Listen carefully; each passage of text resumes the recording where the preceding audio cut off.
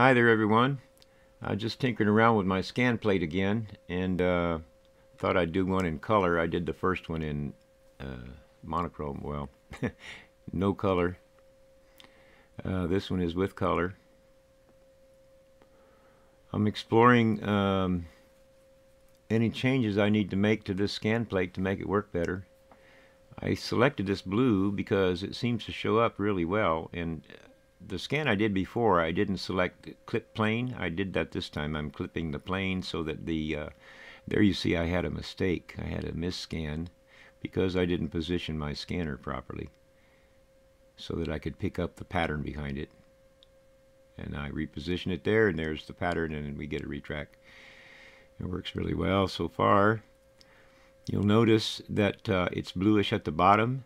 Uh, this is a phenomenon I noticed uh, some time ago when scanning uh, objects with shadows underneath, it picks up whatever I put behind it.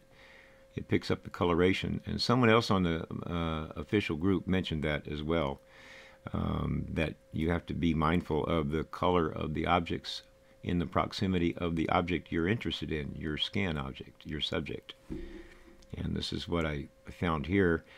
Uh, I also found that if, uh, in this situation anyway, if you uh, use the auto adjustment with it set up the way I have it here, uh, it'll be bluish because it'll it'll adjust to the blue of that that plate. So what I did is I positioned the subject on the turntable first, uh, did the auto exposure, then set it to manual, and then put everything on the plate and continued.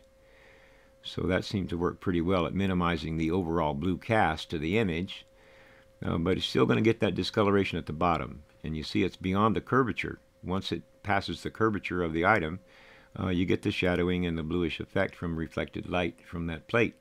So we just have to do multiple scans and, and combine them, uh, cut out the blue part.